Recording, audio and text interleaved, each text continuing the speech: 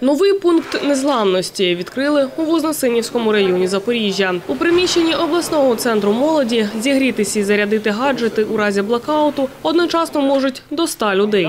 Додатково в нас будуть е, е, розкриті ще два шатри е, з пунктами обігріву та можливістю зарядити свої пристрої.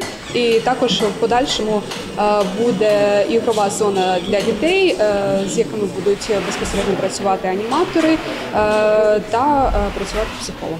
Ця частина в нас відведена для людей, які живуть з тваринами. Ми підготували набір ветоші, е, якої ми зможемо надати. Тут одразу поруч є санвузол з водою, холодною, гарячою, аби можна було е, доглянути за своїми улюбленцями, е, надати їм води, аби попити, і не розлучатися навіть.